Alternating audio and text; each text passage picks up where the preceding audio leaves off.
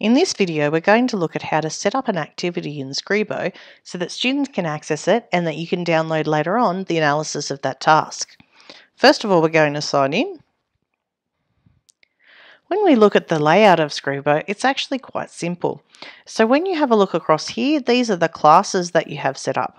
So for example, I have a Year 8 English and HSIE class, and these are the tasks that that Year 8 class has already done. So if I want to start a new task, I'm just going to click Add New Activity. Now, in this case, you can actually upload, if you already have existing uh, responses, you can upload those using uh, the upload tool. But generally speaking, once you have Scribo, it's much quicker to actually get the kids to access through Scribo and upload their responses. So in this case, I'm going to click Students will use Scribo. I'm going to set the name of the report. So at the moment, uh, next week, I'm going to ask them to do a report on uh, landscapes and landforms. And I can put the writing prompt here. Um, describe the difference between a landscape and a landform.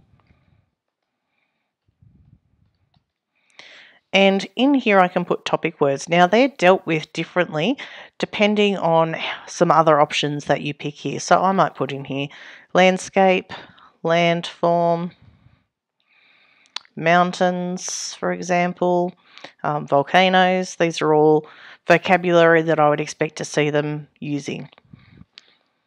Uh, the stimulus here, I can actually upload a picture. I can put um, links in, so I can use different types of stimulus there for my um, response. But in this case, I'm just going to copy and paste the um, the question down here. Now I can create an, a new class here or I can add to existing classes. So I can actually add that to multiple classes on my response. And what's happened is once I click year 8 HSIE and English English, I end up with down here, I see my students that I am going to assign this to. So at the moment, I'm going to say subject HSIE, year 8, easy. I can set a minimum number of paragraphs. I can set a word limit. Um, I can choose existing word lists that are set up and I can set this up as a practice or an assessment. So with a practice, what it allows the students to do is to actually use things like the spelling check and grammar check and things like that um, in their response. So if you are wanting this uh, to analyse your raw data, you would obviously pick assessment, um, but in this case I'm going to pick practice.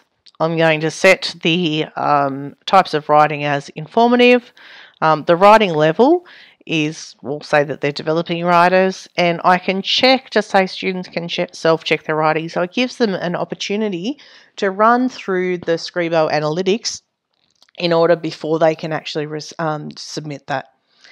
I can see now my keywords are up here, so my topic words. So I can choose to show the keywords in the writing check. So what that will do is that it will highlight those keywords in, um, in their response.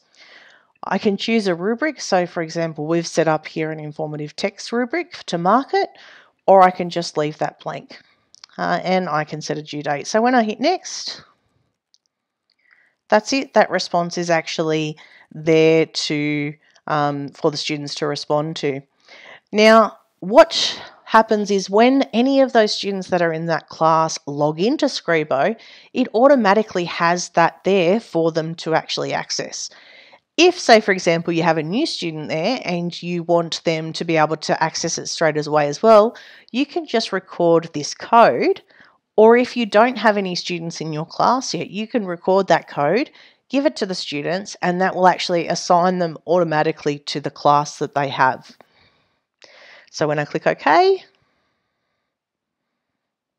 you can see that my landscapes and landform response is there.